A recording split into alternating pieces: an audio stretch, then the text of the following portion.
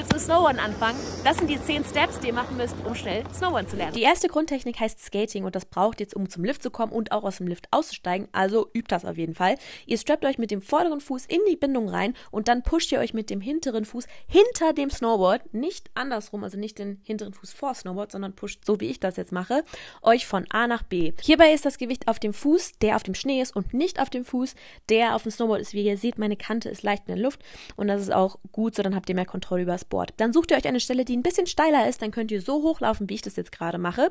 Dann pusht ihr euch weg und stellt den hinteren Fuß press an die Bindung dran, bleibt aber mit dem Gewicht vorne und macht so eine leichte Kurve und das übt ihr wirklich ein paar Mal, bevor ihr in den Lift aussteigt, weil beim Lift geht es immer so ein bisschen runter, wie ihr jetzt seht und die Technik braucht ihr dann auf jeden Fall, um eben nicht hinzufallen beim Lift und bleibt einfach locker und folgt mir gerne für den nächsten Part.